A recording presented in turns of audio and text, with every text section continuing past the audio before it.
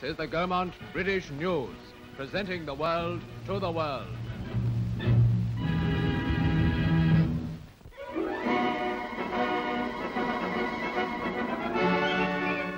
Not far from Hammersmith Bridge is an example of housing development of which the whole borough is rightly proud. Aspen Gardens, a large new block of ultramodern flats, has just been completed and has been opened by Mr. Aneurin Bevan, the Minister of Health. After congratulating all concerned in the scheme, the Minister unveiled a commemorative plaque.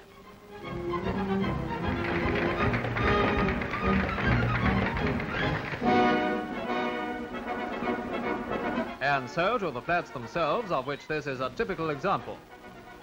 Apart from the labor-saving kitchens, there's a whole battery of washing machines in the central laundry block. Bedrooms, too, have been given full marks by the housewives of the borough.